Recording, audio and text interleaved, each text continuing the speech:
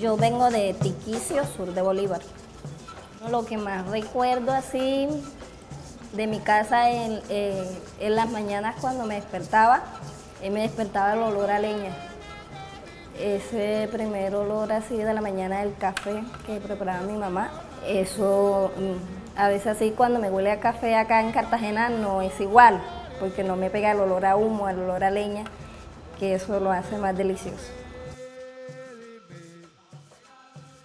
Todo cambió, 1998 fue el 8 de agosto cuando se metieron 600 hombres de los paramilitares y, y acorralaron todo la, toda la vereda. La vereda se llama El Coco. Y ahí forzaron pues a una compañera que fue violada. Masacraron a tres jóvenes. Los pusieron primero a cobar su fosa y después los enterraron. Dejaron el pueblo vuelto, nada, todo desolado. Y entonces fue que me vine para acá, para Cartagena.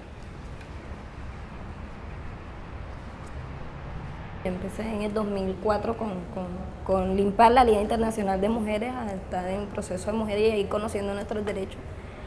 Eh, había salido el Auto 092, que es la política pública para las mujeres.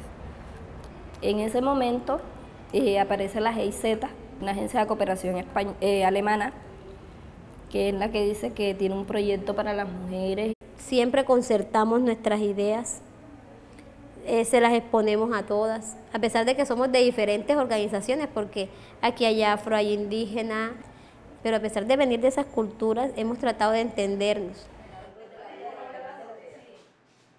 Agonía es la parte que nos ayuda a las mujeres a construir paz y convivencia, paz a través del arte a través de la sanación interior, porque si nosotros no nos sanamos y si no estamos libres y si no y si, y si todas estas culpas y todas estas rabias no las echamos a flote y no las dejamos, no podemos construir paz.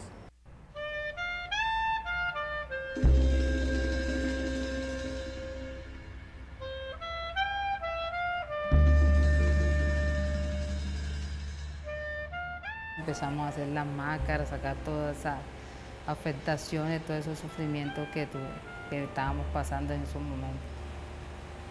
O sea, en los rostros de nosotras eh, ver dibujado como esos, esos momentos, pero eso hacía parte de todo ese sufrimiento y de todas las afectaciones que teníamos. Eh, por ejemplo, a mí me daba miedo hacerme la máscara porque yo no quería taparme los ojos. Cuando la oscuridad, sentía la oscuridad, me daba miedo. Entonces, las compañeras hablaron conmigo y me dijeron que, que entonces me la hiciera con los ojos abiertos para que no me diera miedo.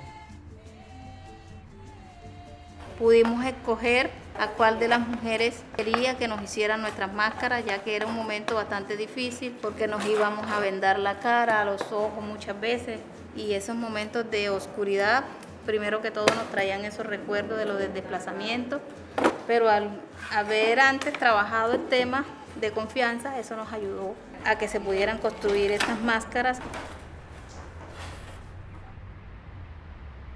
Cuando hice esta máscara, la verdad me sentí más tranquila, me sentí con una paz en mi, en mi interior. O sea, me sentí que podía, que podía avanzar, sentí que, que podía ser diferente. No todas las mujeres que vivimos el conflicto hemos sido capaces de, de hablar. Cuando nació Agonía, muchas fuimos capaces de hablar.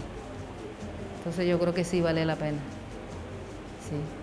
O sea, y yo todavía que soy la memoria viva de mi sufrimiento, es importante para mí porque yo esto se lo puedo mostrar a mis hijos. La memoria tiene que tener los componentes, justicia, verdad y reparación. Y más que todo el enfoco en la verdad. Es hacer memoria histórica, es nuestra verdad contada de lo que nosotros vivimos, de cómo fue el conflicto realmente, cómo lo vivimos en nuestros territorios.